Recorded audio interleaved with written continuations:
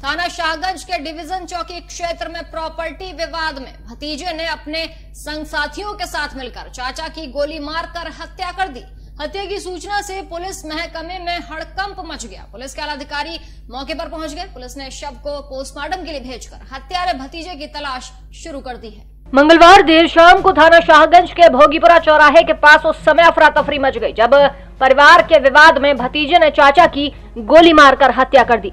रिहायशी इलाके में ताबड़तोड़ फायरिंग से इलाके में भगदड़ मच गई। पैंसठ वर्षीय राम मुदगल की हत्या का आरोप उनके भतीजे सुधांशु मुदगल और उसके साथियों पर लगा है।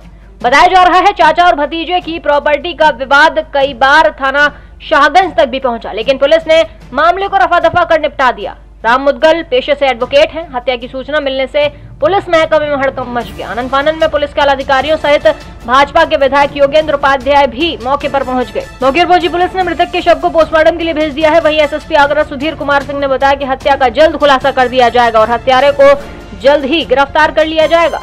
देखिए, श्री राम मुदगल, जो कि शागन थाना क्षेत्र के रहने वाले थे और पैंसठ वर्ष उनकी एज थी, एक प्रॉपर्टी के विवाद में कुछ लोगों द्वारा उन पर गोली चलाई गई। जो उनकी जो उन्हें तत्काल हॉस्पिटल लेकर आया गया और वो यहाँ पर इलाज के दौरान उनकी मौत हुई। श्री मुदगल जैसा कि बताया गया है नॉन प्रैक्टिसिंग एडवोकेट थे। रजिस्ट्रेशन उनका था, लेकिन प्रैक्टिस नहीं किया करते थे। और जो लोग नामजद कराए गए, उसमें से भी कुछ लोग एडवोकेट हैं। कितने लोग नामजद हैं? देखिए अभी एफआईआर उन्होंने लिखे के दी है और अभी एफआईआर रजिस्टर हो रही है। डीजी माजा न्यूज़ के लिए हरेंद्र की रिपोर्ट।